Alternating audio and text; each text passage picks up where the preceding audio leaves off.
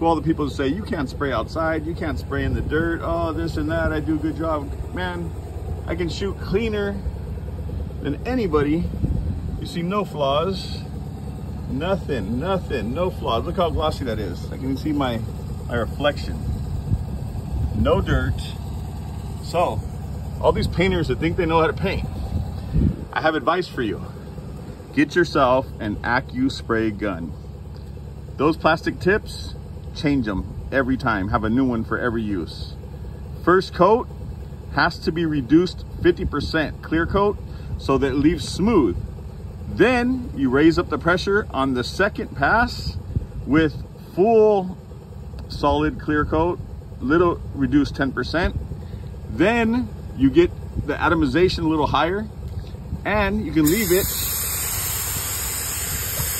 like a mirror. And what do you know? All the dust that people talk about is coming from you know where? Their own gun. Wow, what do you say about that? See, just like a mirror.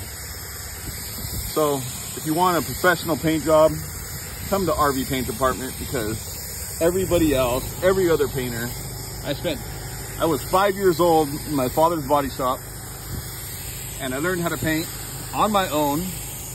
I didn't listen to painters because I wanted to know how everything worked on my own. So now, you see, just like a mirror, hello there. No dust, amazing. So let me finish the rest of this bus. So these other people can just uh, leave a bunch of comments and say all the nasty things that they want to say. But results, results, results.